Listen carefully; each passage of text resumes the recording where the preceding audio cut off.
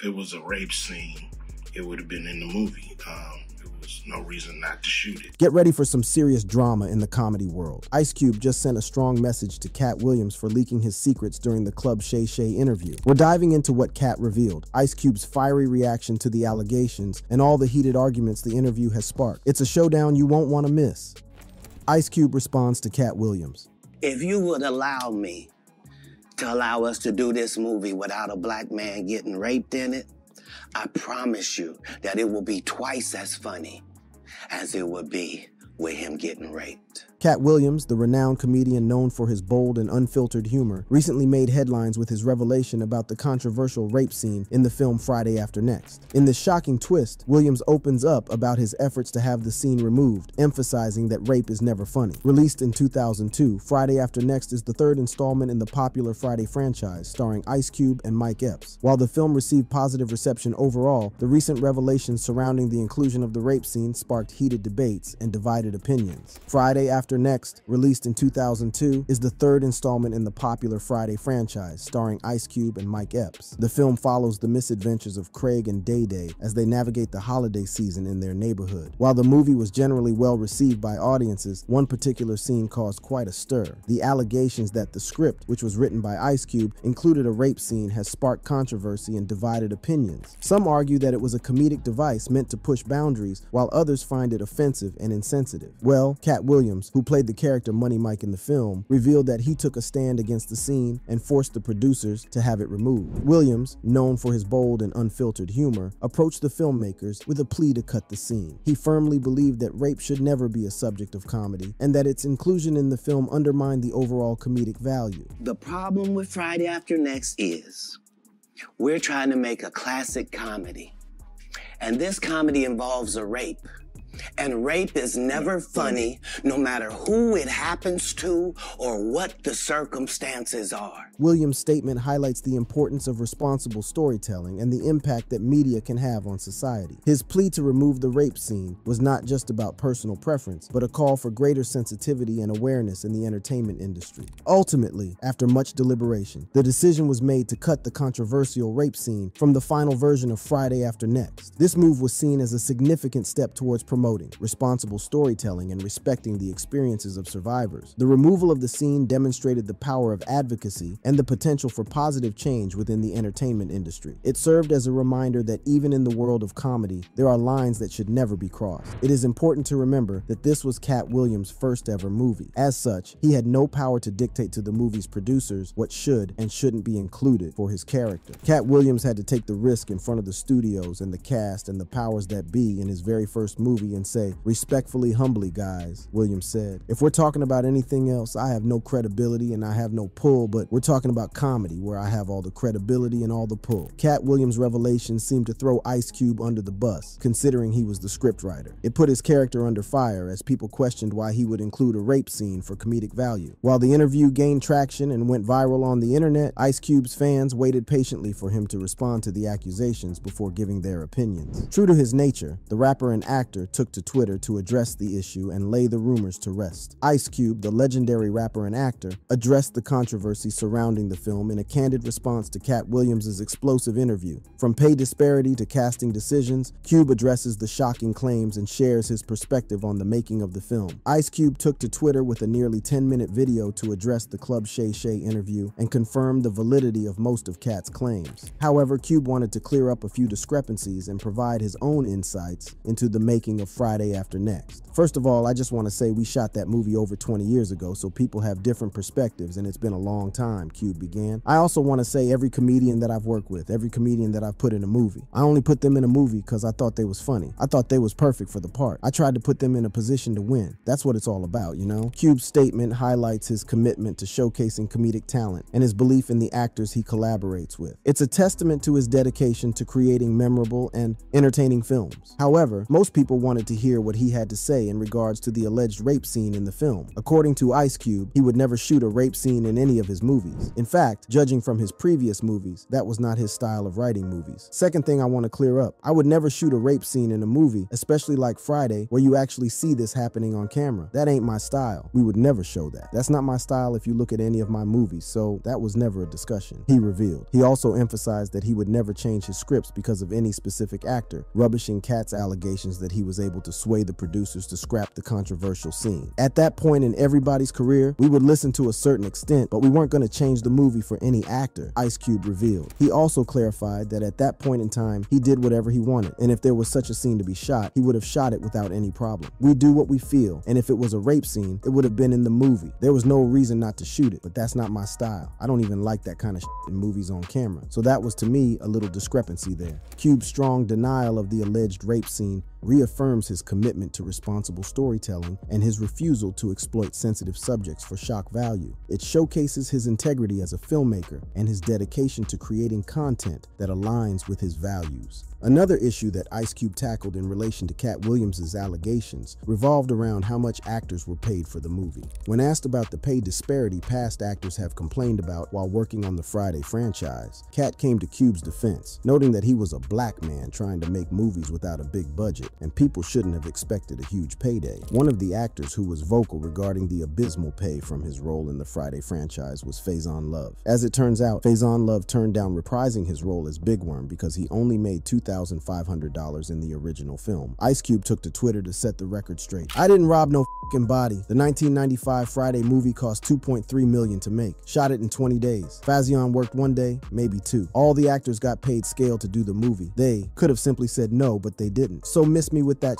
Ice Cube wrote. The rapper and actor also revealed that Chris Tucker, who played the main character, was offered 10 to 12 million dollars to appear in the second film. This was to show that actors were being paid according to the value they brought to the movie. However, Chris Tucker turned down the role for religious reasons. We were ready to pay Chris Tucker 10 to 12 million dollars to do next Friday, but he turned us down for religious reasons. He didn't want to cuss or smoke weed on camera anymore. In an interview, Chris Tucker opened up about his decision to distance himself from the Friday films despite the fact they were responsible for his big break, and his words corroborate Ice Cube's explanation that weed was a big reason behind why he refused to return. Back then, I gotta tell you, one of the reasons why I didn't do the second one was because of the weed, he revealed. Because I said, man, that movie became a phenomenon. I don't want everybody smoking weed, and I never really told people this because I kind of forgot about it. But it was one of the reasons why I didn't do it. Because I said, I don't want to represent everybody smoking weed. Ice Cube was forced to defend himself once again after the Katt Williams interview in regards to how much he paid actors for the Friday franchise. According to the rapper and actor, the films were low budget and everyone was paid according to their worth and role in the movies. A lot of people talking about pay and how much they was paid in these movies that were extremely low budget. Most of these guys worked a couple of days. When you're doing a movie, there's over 100 people working that gotta get paid, he said. He also reasoned that the franchise helped launch most of the actors' careers, including Katt Williams, since it was his first movie. Any actor that's mad at what they got paid, just look at what you was doing. Look at where your career was at the time, and take a look at where it is now. Friday had something to do with that, I believe. Ice Cube revealed that he had no ill feelings towards Katt Williams. In fact, he praised Katt Williams for the role that he played in ensuring the movie became a success, even crediting him for helping him write a good chunk of the script. Katt wrote a lot of his part because, like I said, he was giving us jewels, so we were keeping the camera rolling. He was coming off the dome. He was coming prepared every day to steal the show. That was his mission, and that's what he did. And it launched his career. And I'm proud of the movie. I'm proud of all the guys who have come through a Cube Vision production and went on to do bigger and better things, Ice Cube said. Ice Cube has nothing but love for the legendary Katt Williams, which he revealed on his Twitter post. According to him, Katt always came to his defense, which he appreciated immensely.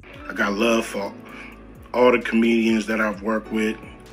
Got, you know, much love for Katt. You know, he uh he spoke up for me a lot. Cube's final remarks highlight his admiration for Katt's talent and his pride in the film's success. It's a testament to the collaborative effort that went into creating Friday After Next and the positive impact it had on the careers of those involved. However, Ice Cube was not the only celebrity who was put on the spotlight by Katt Williams. Various celebrities found themselves on the receiving end of harsh criticism and were prompted to respond. Celebrities react to Katt Williams' interview.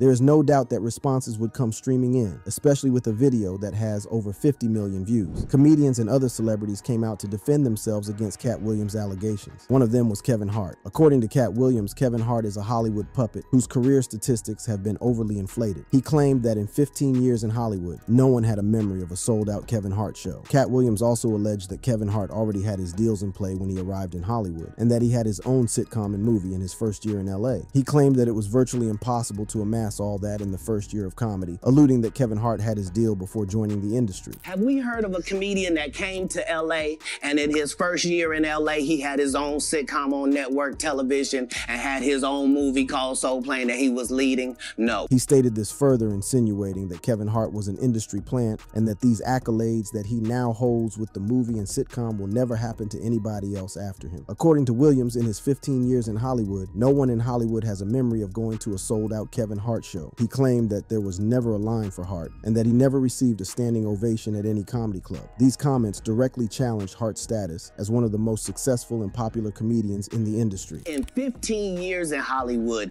no one in Hollywood has a memory of going to a sold out Kevin Hart show. Williams seemed to question the authenticity of Hart's success, implying that it was not based on genuine talent or widespread appeal. He suggested that Hart's fame was manufactured and that he had not truly earned his place in the comedy world. The remarks made by Williams were shocking and unexpected, especially considering the success and recognition that Hart has achieved throughout his career. Hart has consistently sold out arenas and has a massive following of fans who eagerly attend his shows. Naturally, these allegations caught the attention of Kevin Hart, who took to Twitter to respond. In his tweet, Kevin Hart didn't deny anything that Katt Williams said, but instead took a more subtle approach. He wrote, Gotta get that anger out, champ. It's honestly sad. While his response may seem cryptic, it's clear that Kevin Hart is not letting the negativity affect him. In fact, he took the opportunity to promote his upcoming movie, Lift. It's interesting to note that Kevin Hart's response didn't directly address the allegations made by Katt Williams. Instead, he chose to focus on moving forward and continuing to work on his successful career. This response, or lack thereof, speaks volumes about Kevin Hart's confidence and ability to rise above the drama. It's clear that he's not letting the negativity get to him, and he's determined to keep pushing forward. In another interview done five days after the video release, Kevin Hart said, he doesn't feed into all the drama Katt has created, alluding that it's all part of entertainment. I don't feed into the stuff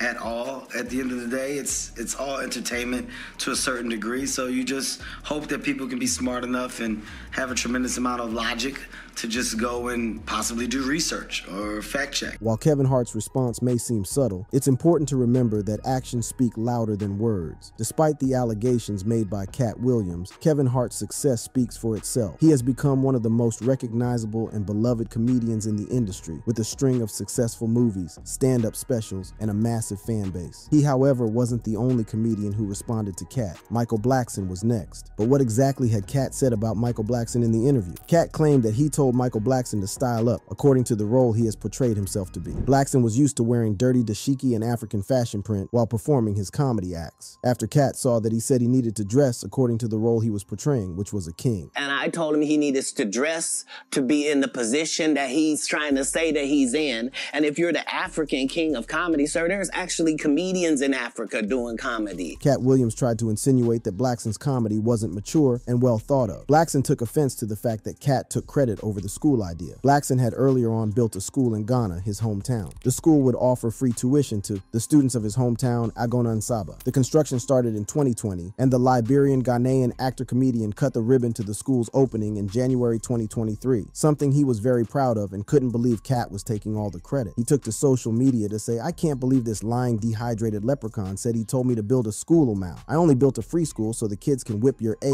for free Mata Sucker. Williams further went to take more jabs at Michael, mocking how an African could do comedy with a fake African accent. These words struck a nerve with Blackson and the comedy community as a whole. The accusation of a fake African accent left many wondering about the authenticity of Blackson's comedic style and persona. The impact of Williams' comments reverberated through social media, with fans and fellow comedians weighing in on the controversy. Blackson, known for his quick wit and sharp comebacks, wasted no time in responding to Williams' remarks. Taking to Twitter, he expressed expressed his confusion and frustration, sharing personal experiences of being roasted for his accent both in school and in American comedy clubs. I'm so confused. I'm African with a fake African accent. My accent had me roasted every day in school and in the comedy clubs in America, and I wish I could get rid of it. Even my Philly accent is fake. I guess the only thing real about me is my dick. Blackson felt that Katt attacked all top 10 comedians so that they could respond to him, and hence making him relevant again. Katt Williams is a very smart midget who took shots at the top 10 comedians alive today so we can all respond and make him relevant again. Whether this was a strategy or not, one thing is for sure. The internet has blown up with more fiery responses to Katt Williams, and Cedric didn't go mute either. Cedric the Entertainer found himself embroiled in a heated feud with fellow comedian Katt Williams. The controversy stems from Williams' accusations of joke theft, claiming that Cedric stole one of his jokes and used it in his own comedy special. The allegation sent shockwaves through the comedy community, as Cedric's reputation as a comedic genius was called into question. But Cedric wasn't about to let these accusations go unanswered. In an interview with ET, he claimed that Katt Williams' allegations weren't factual. People get on these blogs and they just start spewing off stuff that's not even factual. I let the fodder just go out there until I'm ready to respond to it. I am who I am. I stand on that for sure. He did not stop there. In a bold and defiant move, Cedric took to social media to address the claims head on. Within the comment section of the Club Shay Shay Instagram page, where Katt's accusatory clip was first shared,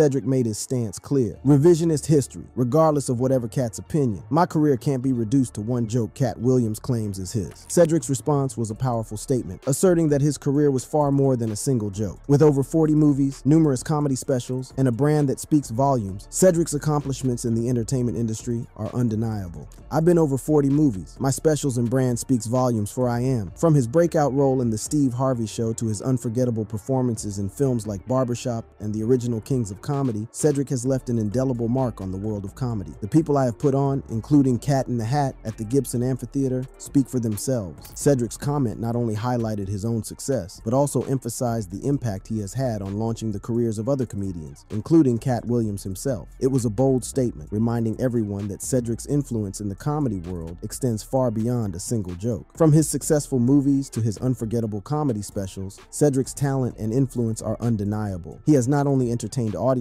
but also paved the way for other comedians. Well, now, the feud has escalated with both comedians trading verbal blows, leaving the comedy world buzzing with anticipation, leading us to one more person who had something to say to Katt Williams. Steve Harvey followed. Katt Williams accused Harvey of stealing the concept of his 1990 sitcom, The Steve Harvey Show, from Mark Curry's Hanging with Mr. Cooper. The allegation sent shockwaves through the comedy community, leaving many wondering if it was true or not. Sad for Steve, Mark Curry has in the past addressed this issue, and he seems to side with Katt, saying that he did not understand why Steve stole his material, yet he had already made a lot of money. When he was on his the, the, the bullshit talk show he had, and he did he he did all my Halloween material one Halloween. I'm watching. Uh, somebody called me and said, "Man, homeboy doing your material." So he did my whole Halloween run.